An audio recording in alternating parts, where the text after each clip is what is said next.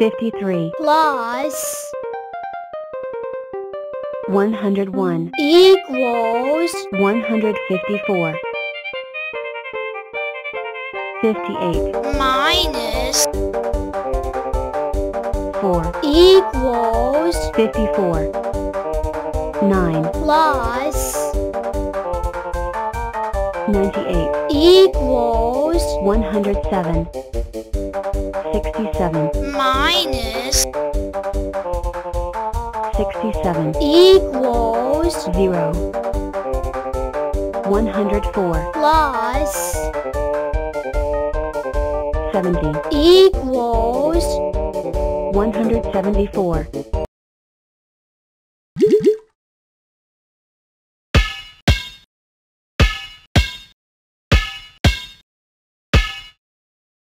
Do, do do, do do, do do do. X, what's wrong? You look depressed.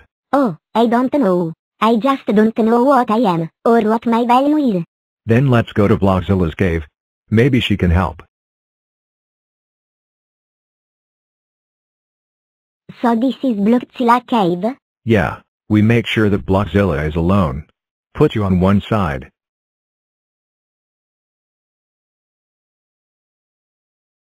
And then take something else. Huh? And put it on the other. It is greater than X. Me like it. Ta. Too heavy. So we add some more. 2 Times X. equals 2x. Nope.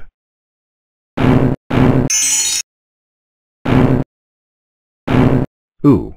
It's equal. Now we can figure out your value. But for, there are too many numbers. We'll never figure it out. Yeah, we can. If we do it step by step, and use a pencil. So let's get started. One thing we can do is add these two together. How did you do that? We weren't even touching. They don't have to be. Could we do it if we were touching? Yeah. We can also add these together. 5. Wouldn't it be 11 since 8 plus 3 is 11? No, because we're adding together 8 and minus 3. Or, negative 3. So, it's 5. Oh. I see something. We can add this. Ta. Why did that happen? Because the 2 is connected to the 3 plus x. Oh, ah, so, It's like adding apples and oranges. You can. so what do we do? Okay. See the 2 times 3 plus x? That's the same as 2 times 3 plus 2 times x, which is 6 plus 2x. Oh. And 5 plus 6 is 11. Yeah. Now, we have to move things around. We have to move this 2x to this side. Oh. So, 5x. Ta. Ah. Whenever you switch sides, you have to switch its sign. So if it's positive, it becomes negative and vice versa. Why? Think of it this way. You're subtracting 2x from each side. Oh, so, it just be 1x, or x. Correct. Now, do the same with me. 4. Oh, okay. 11 minus 4 is 7. So now what do I do? What's there left to do? Oh, x equals 7 so in 7. Yeah, and it's lucky, too. Hmm. So, now that you know your value, what do you want to do? I want to celebrate by playing with 5 and 3. Hmm, sounds fun. 86. plus 97. equals 183. 31. plus 66. equals 97.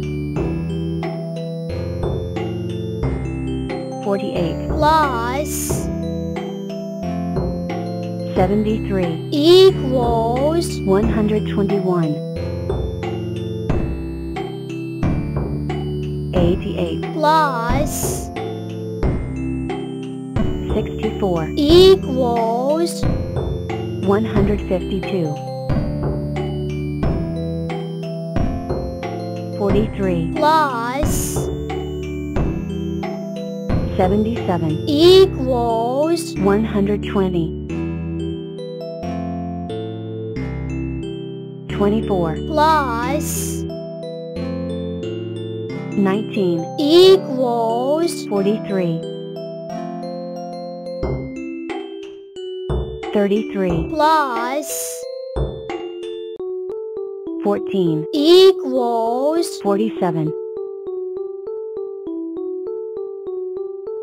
62 plus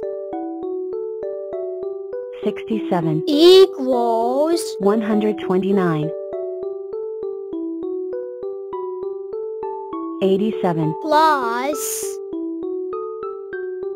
107 equals 194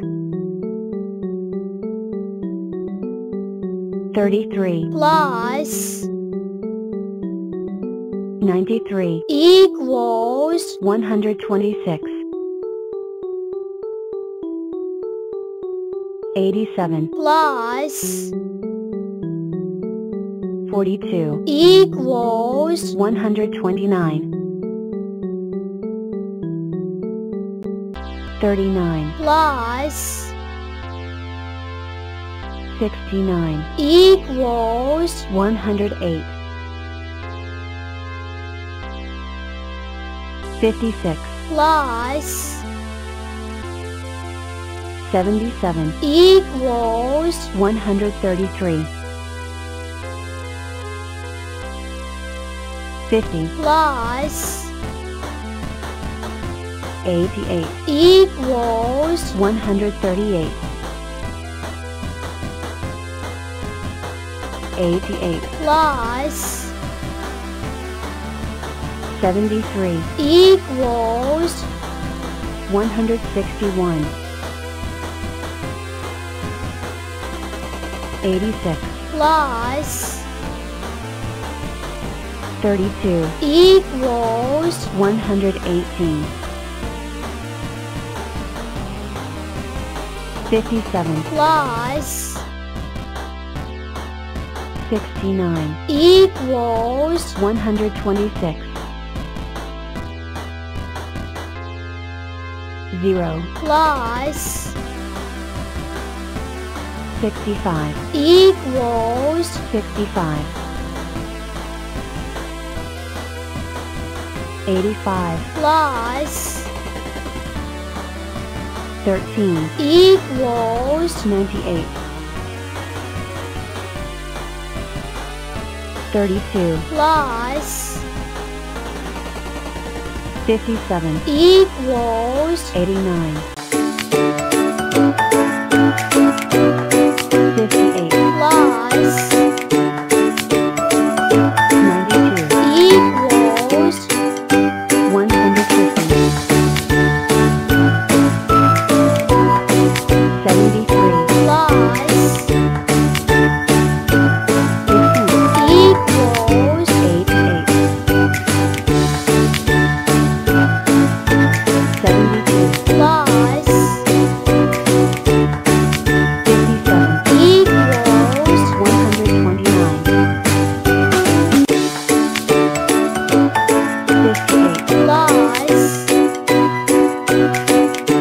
51 equals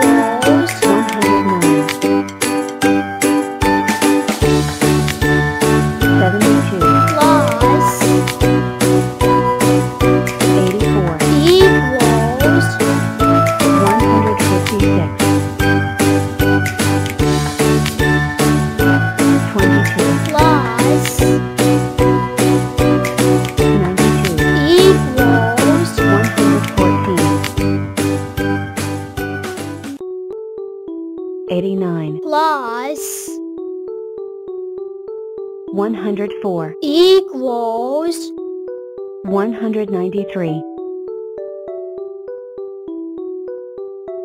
102 plus 21, equals 123, 26, plus 73, equals 99, 69, plus 47, equals 116, 34, plus 67, equals 101,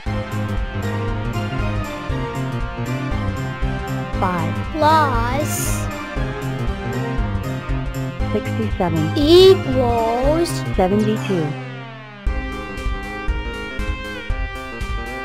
70, plus 15, equals 85, 42, plus 78, equals 120,